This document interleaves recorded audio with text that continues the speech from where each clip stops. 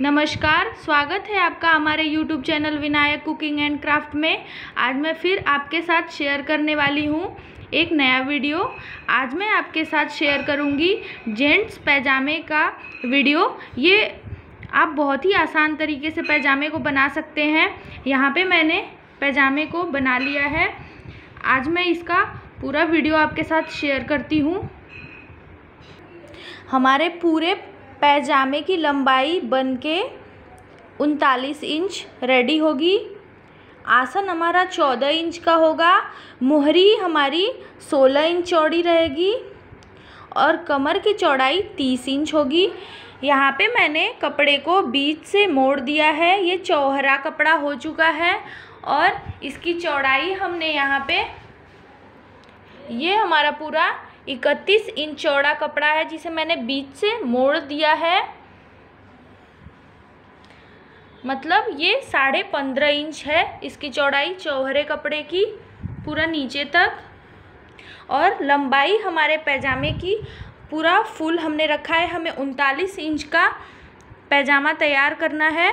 तो हमारे कपड़े की लंबाई चालीस इंच है और इसमें मैं कमर पे नाड़ा डालने के लिए अलग से पट्टी लगाऊँगी, साथ ही नीचे मोड़ने के लिए भी मैं अलग से पट्टी लगाऊँगी।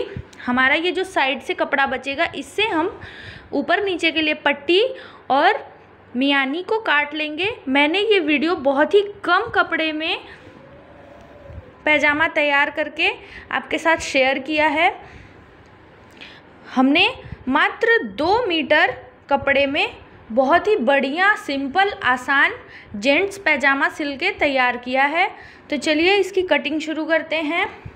सबसे पहले मैं यहाँ से हमारा आसन बनने के बाद चौदह इंच का होगा।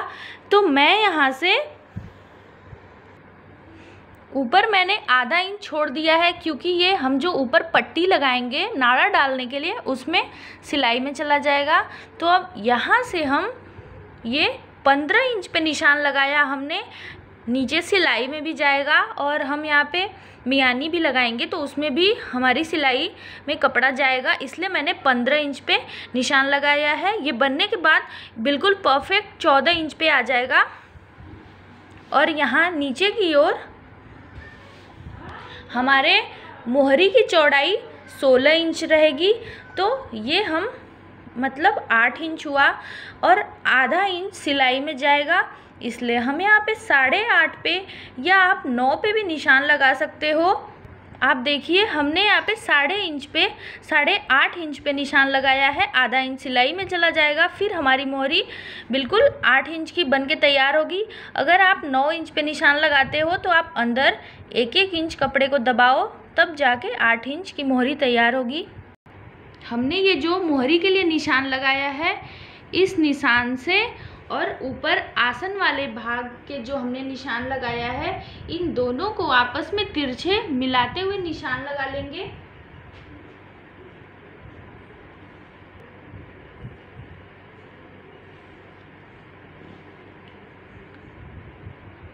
और यहाँ पे हमने ये तिरछे में निशान लगा लिया है। अब बिल्कुल इसी निशान पे हम कपड़े को काट देंगे। आसन वाले जगह पे हम इसको हल्का सा गोलाई में कर देंगे और फिर इसे हम काट लेते हैं।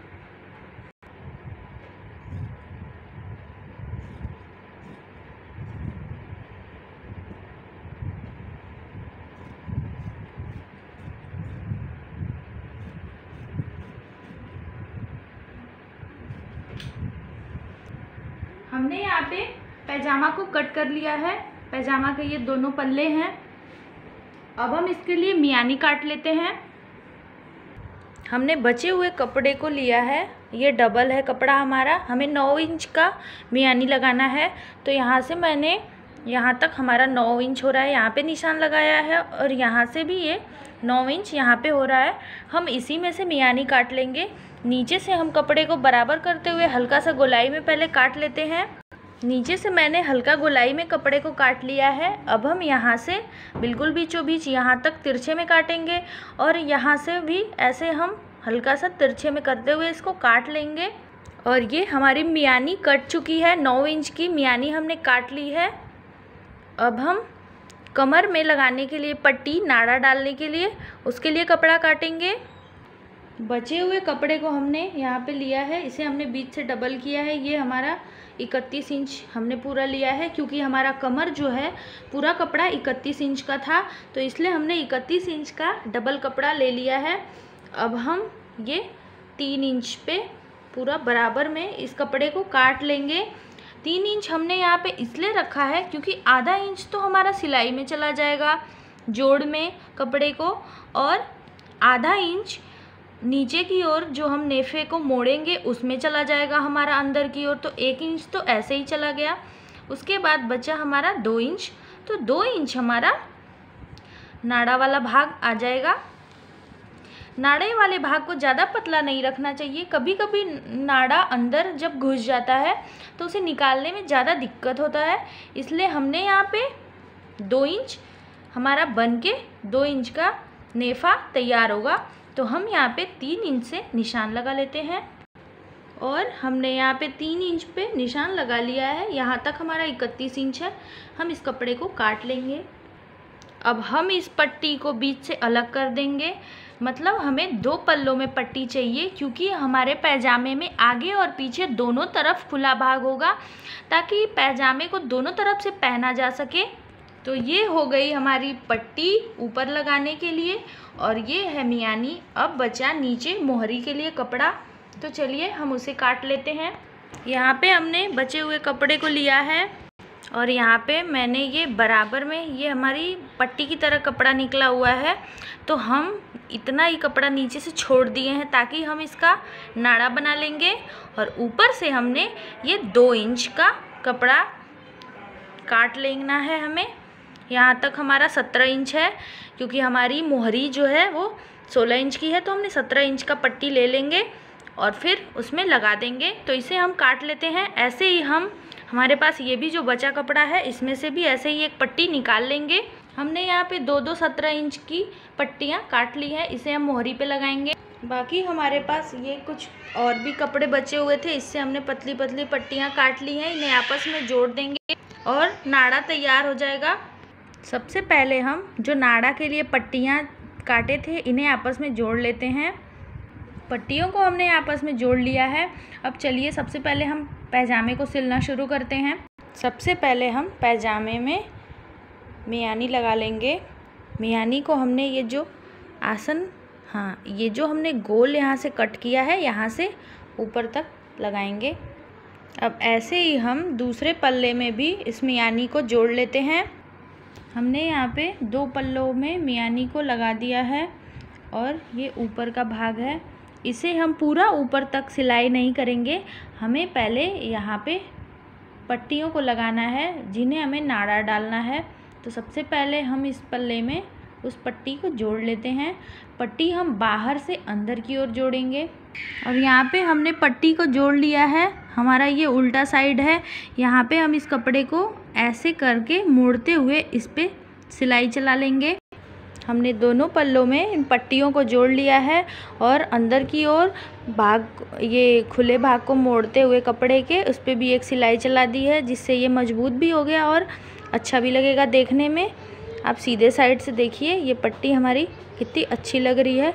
बिल्कुल ऐसे ही हमने दोनों पल्लों में कर लिया है। हमने यहाँ पे मियानी को जोड़ लिया है और इस भाग को भी पूरा ऊपर तक सिलाई कर दिया है।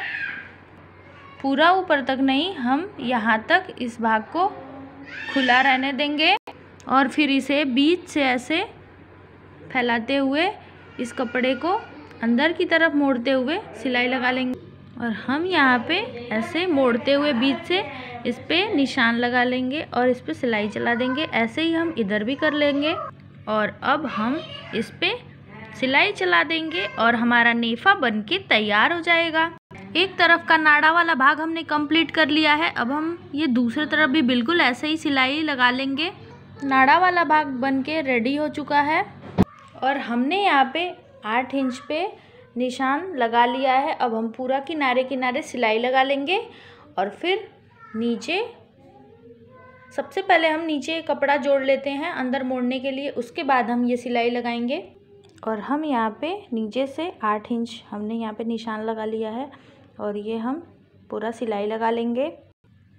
पूरे पैजामे पे हमने बगल से सिलाई लगा दी है। अब हम बीच से ये जो हमने मोड़ने के लिए कपड़ा जोड़ा था, यहाँ से इसको हम अंदर की ओर अच्छे से दबाते हुए इसको मोड़ेंगे और फिर इस पर बराबर से सिलाई लगा लेंगे।